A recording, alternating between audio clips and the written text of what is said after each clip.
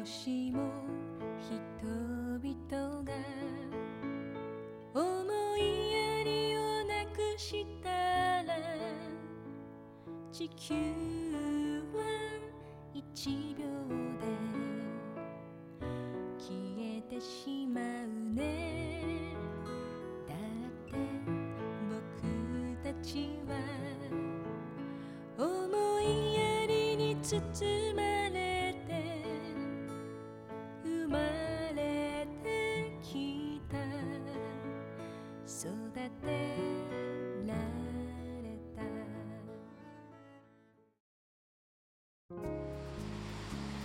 柊山町にある子どもステーション。平成15年に設立されて以来子育て支援の拠点としての役割を担ってきました。平日毎日やってるので毎日いつでも来れるっていうのがすごくいいと思います。知り合いじゃなくてもなんかねお話が聞けるのでこういうとこに来るといいかなと思います。幼稚園上がる前になんかダンスとかできるからた楽しんで子供たちもやってます。子育てはしやすい環境ですか？あしやすいと思いますよ。未来への架け橋渡る子どもの笑顔。みんなで作る子育て応援都市オーブ。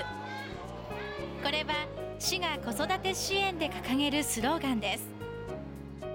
子育て応援都市オーブでは平成19年から中学校卒業までの医療費の無料化ですとか妊産婦検診の無料化それから小学校6年生までの放課後クラブの受け入れなどを行ってきましたが、その他にもきめ細やかに、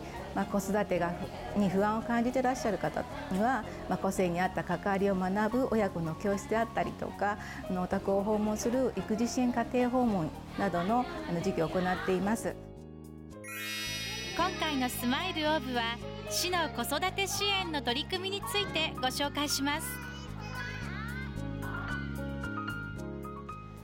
江端町にある柊山保育園。冠婚葬祭など急な行事や子育て中のリフレッシュなど一時的にお子さんを預かる取り組み一時的保育事業を行っています。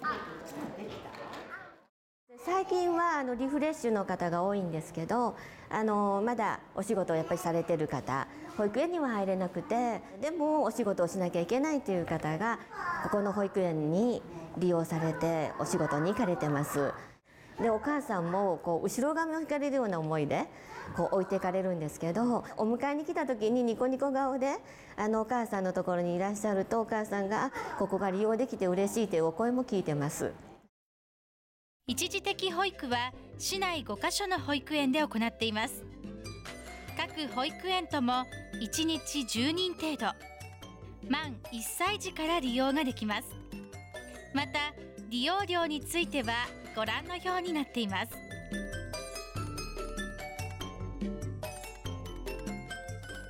また市内にはお子さんが病気になった時などに面倒を見てもらえる民間の団体があります。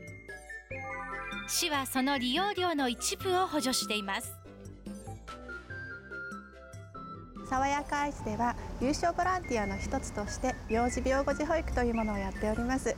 あの病気のお子さんを抱えた保護者さんのために病気のお子さんと一緒にご自宅で一緒に、えー、と過ごさせていただくということをしてます。リピーターの方とっても多いです。なので一度使ってみてであこれはいいなこのサービス利用しようかなっていう方は本当に繰り返し繰り返し利用されます。この事業を行っているのはご覧の3つの団体です。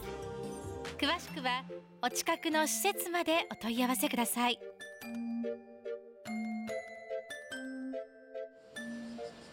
近所に親戚や相談できる方がいない子育て中のご家庭にはこんな事業もあります。育児支援家庭訪問。担当者に話を聞いてみました。直接あのお家に伺うっていうことはあの実際のお子さんの生活の姿とかお母さんの様子とかもあの見ながらあのご相談ができあの受けさせてもらっているのでより具体的なあの子育ての方法がお母さんに直接伝えることができますので、はい、その点はあのいいところかなと思っています。あるだけでも助かります。知っていますけどまだ利用したことはないですね。はいあーよく聞いてもらってます。まあこういうところに来て先生たちに悩みを聞いてもらったりして解決してます。また子どもステーションでも随時乳幼児の育児相談を行っています。都合で来られない方や匿名を希望される方は電話やインターネットでも相談を受け付けています。どうぞお気軽にご利用ください遊びに来てね。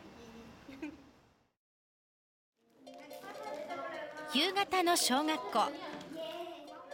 校舎の中を覗いてみると子どもたちが集まって楽しそうに遊んでいました。放課後児童健全育成事業の一つ放課後クラブは保護者が仕事などで昼間家庭にいない小学生に対し小学校に設けられた専用の部屋や児童センターなどを利用して授業終了後や土曜日夏休みなどに遊びや生活の場を与える取り組みです。すごく楽しくてなんかいろいろ先生たちさ私がつまんない時にいろいろ話しかけたりしてます。みんな元気で明るい子がいっぱいなので楽しく遊べるからいいと思います。お子さんが安心安全で過ごせてお母さんが安心して仕事に出られるというところが、まあ、いいところかなっていうのがあります。現在市内にある9つすべての小学校で放課後クラブを行っています。費用は1ヶ月5000円。利用するには申し込みの手続きが必要です。詳しくは障害学習課までお問い合わせください。ただいま続いては地域全体で子育てを応援する取り組みファミリーサポート事業。富田さんは子育ての手が離れたのを機に今年の春援助会員に登録しました。あの必要とされてるなっていう実感もない毎日だったんですけどファミリーサポートを始めたらこう依頼されて援助するっていうこのシステムがものすごくこう自分が存在価値があるような気がして楽しくて元気になれました。ファミリーサポート事業は会員として登録し子育てを会員相互で助け合う事業です。仕事などで子どもを一時的に預かってほしい人。余暇などを利用して子どもを預かることができる人。さらに両方を兼ねることができる人で成り立っています。りさちゃんこれ踊れるの？保育園の送り迎えだとかあとそうですね習い事の送迎あと実際にお母さんが病気であの通院されるとかちょっと体調が悪い時あとちょっとした用事であの数時間お願いしますとかそういったケースもあります。富田さんへ依頼をしたのは市内在住の共働きのご夫婦この制度のおかげで仕事と子育てをうまく両立できるようになりましたはい、